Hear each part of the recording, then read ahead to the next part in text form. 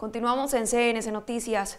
Mucha atención que en las últimas horas fue hallado un cuerpo en el sector de Bocas de Tuluá. Las autoridades tratan de esclarecer la identidad de la víctima y los móviles y autores de este hecho de sangre que eleva a cinco el número de muertes violentas en Tuluá en estos últimos tres días.